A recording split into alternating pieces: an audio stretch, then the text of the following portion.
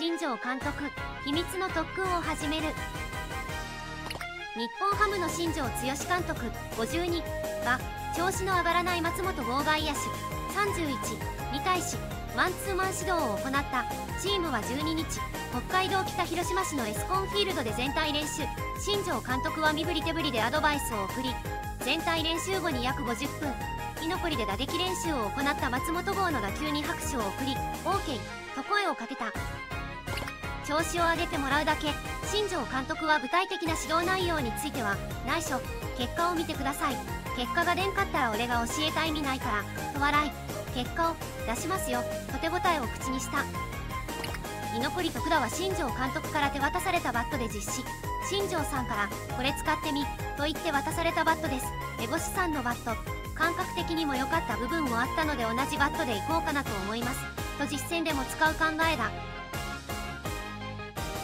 復活か？今日練習見に行ったけど松郷のバッティング練習マジで長かったわ。松本剛は烏帽子のバットを装備したパワーが50上がった。ミートが100下がった。当たらないバットで当たればものすごい特訓だなおい。烏帽子も居残り練習しろよ。新庄がバット早く振れのアドバイスで松本剛は首位打者取れたし復帰するかも。